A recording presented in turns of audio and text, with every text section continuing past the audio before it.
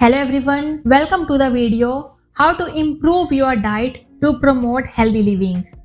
Make sure you are getting enough dietary fiber in your daily diet as dietary fiber helps keep your digestive system healthy and provides energy throughout the day. Next, healthy fats are essential for a balanced diet and can provide your body with lots of nutrients and vitamins. Healthy fats come from plant sources like olive oil, nuts, avocados, and can be found in fish as well as omega 3 fatty acids. And lastly, it is important to ensure that you are getting an adequate amount of vitamins and minerals daily in your diet. Eating a variety of fruits and vegetables can provide the right amounts of vitamins and minerals you need.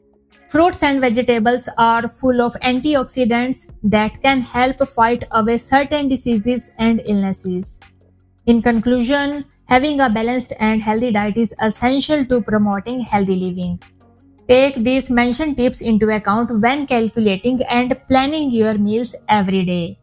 And for more information, don't forget to subscribe to our channel and check out our other videos for more helpful tips. Thanks for watching. Take care. Bye bye.